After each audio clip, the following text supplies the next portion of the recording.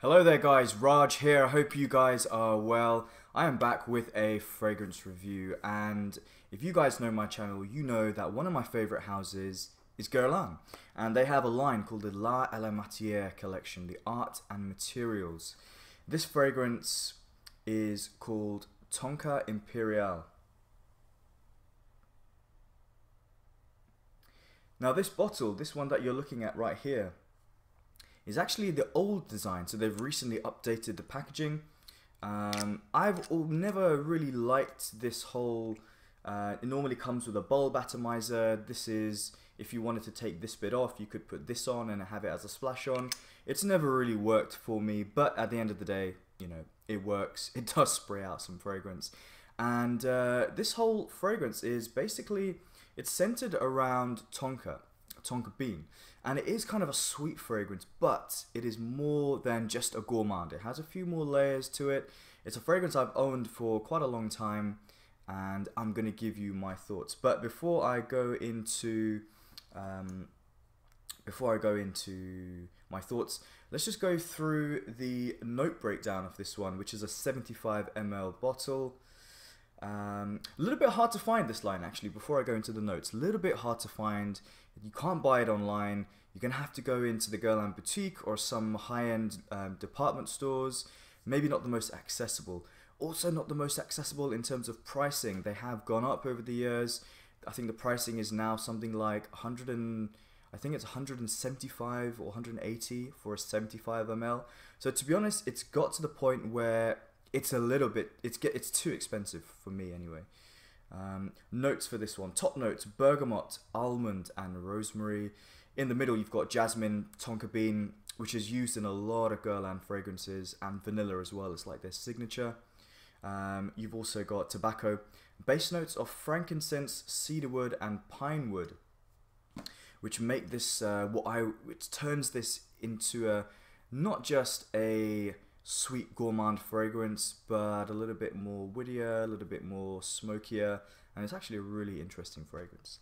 So, when you um, where would where would I wear this? Occasions, longevity, performance, that kind of thing. I'll start with performance because I've always had good performance with this line. Um, I get all day. It definitely jumps off your skin for the first few hours, and actually is a is a fragrance that will get you noticed. Definitely will get you noticed.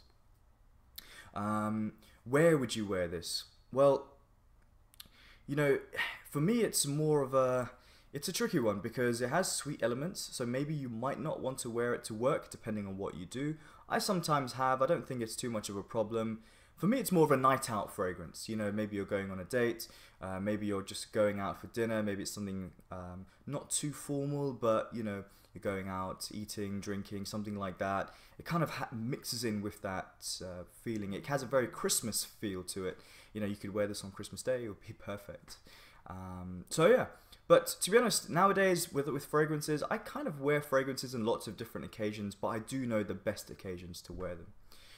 Uh, okay, so I've talked about longevity performance, uh, where you would wear it, notes, what does it smell like? Okay, so it's quality from the start this line, the the ingredients that they that they use, you can tell that they're of a really high quality.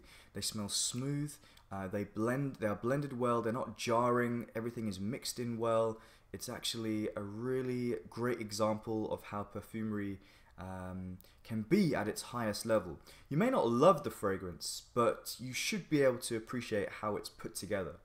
In the opening, it's probably where it's, it's at its sweetest and you do get this you know this almond marzipan cakey kind of feeling lots of icing sugar um, sweet cherries and it's maybe a little bit too much for some people.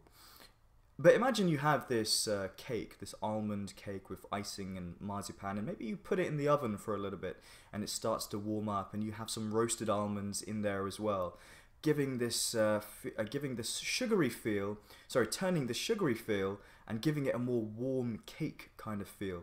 But in the opening half an hour is when it's a little bit too sweet. Then you got some of the deeper notes um, coming into play. Where for me, I always felt it was kind of like a warm incense, like a benzoin, like a waxy, um, furry, something very warm and nutty like a tonka bean scent. And actually, it's really nice, I have to say. I really like this combination. It doesn't transition like from one stage to another and another. It pretty much has like two phases for me. So I sprayed a little bit on about 10 minutes ago. I'm still into that sweet phase, but later on you do get this kind of um, the tobacco is like this wet, moist, uh, fruity tobacco, but it's measured. It's nothing over the top. Um, some of these notes might sound like it could be uh, filling the room and kind of overpowering everyone and get quite annoying, but it somehow manages to be in a nice balance. Um, you know, I do really like this fragrance. I do really like it, but it is definitely one of those that I feel I can live without. There are some fragrances from this line which I prefer over this actually. Um, there were times when I really loved this, but the other ones in the line and other ones from Guerlain and other fragrances I have, I just prefer them a lot more now. You know, your taste can change and what was your favorite last year or last week might not be your favorite fragrance now, but it is a really good fragrance and I can definitely recognize the quality and I can definitely recommend you try this or get a sample or, you know, definitely go to this line. And when you're there, check out more of what Guerlain have to offer because they have some really amazing fragrances there. Um, not ones that you're gonna just spray, put your paper to your nose and be like, oh yeah, yeah, okay, that's I'm getting this, this, and this.